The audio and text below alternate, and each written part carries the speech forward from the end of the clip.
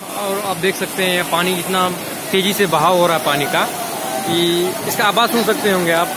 और पानी का देखिए, चारों तरफ़ मतलब ये हिल सा हो रहा है जूम सा हो रहा है। ऊपर नीचे ऊपर नीचे, पानी का बहुत ही ज़्यादा आवाज़ आ रही है इसकी।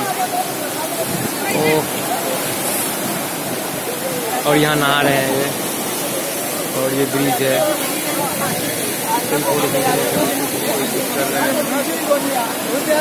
कर रहे हैं